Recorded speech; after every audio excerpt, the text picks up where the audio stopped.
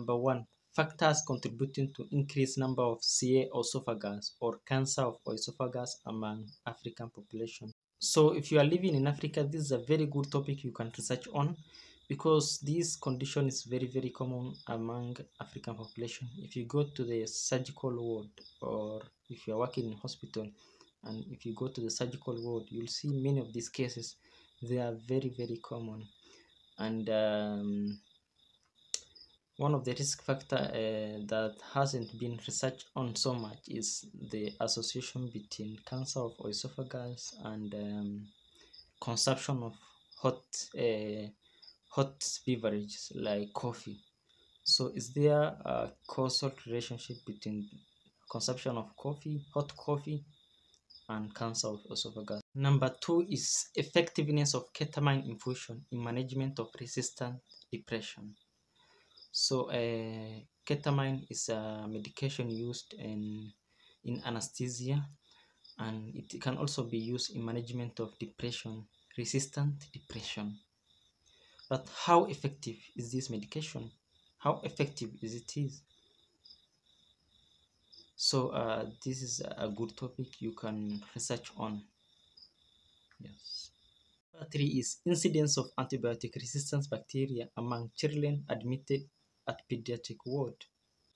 Number four, improving quality of life of patient with cancer of esophagus. So this particular cancer is really, really bad because their quality of life is really, really poor. They have very poor or bad quality of life. So um, that means that you need to come up with um, research on how you can improve their life, their quality of life you need you need to come up with a research because different country apply different measure uh, and that means that uh, quality of life of patient from different country are not the same. They are they are different. So you need to come up with a research on finding out which uh, measures from different country offer the best quality of life for this particular patient so hope you have understand improving quality of life of patient with cancer of esophagus. That is number four. Five factors contributing to increased number of depression among college students. So depression is actually very very common this day, especially among youth, among students, among university students is very very common because maybe because of the pressure from their parents or peer pressure. So number six factors influencing life expectancy of patient with type 2 diabetes. So patients with type 2 diabetes normally have uh, a lot of complications and uh, that means that their life expectancy is actually very very low especially when they are not uh, on medication when they are not adhering to their medication when they are not following up on their treatment and the investigation so uh, you need to you need to carry out research on finding out what are the factors that uh, influence their life expectancy. Number seven, contributing factor to diabetic complication among patients with type 2 diabetes.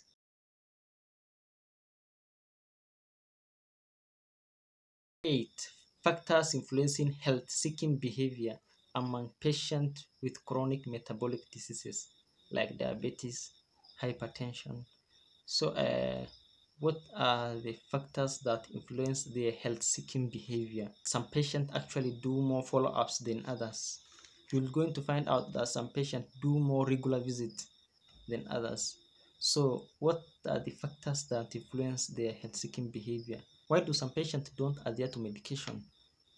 Why do some patients don't follow uh, health advice. Nine is a, of a quality of service offered to beneficiaries of insurance cover. We want to find out whether the uh, beneficiaries of insurance cover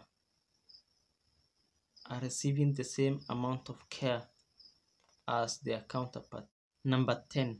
Prevalence and incidence of mental health ailments among healthcare workers and so it is important to find out what mental health ailments health workers do normally undergo, especially because of the work stress, you see, uh, because some of them are severely underpaid.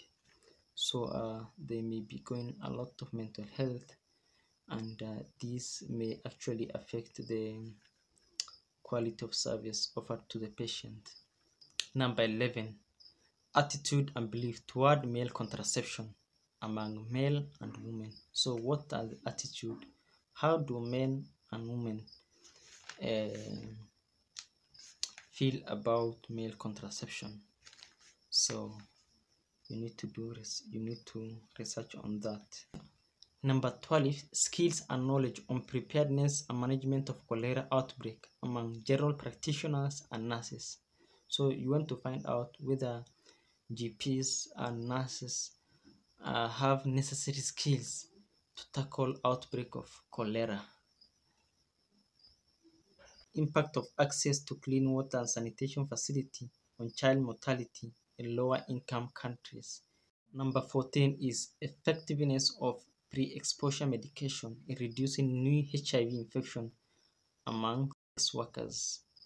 So most of the time workers are using PrEP because this medication uh, prevent them from getting uh, HIV infection.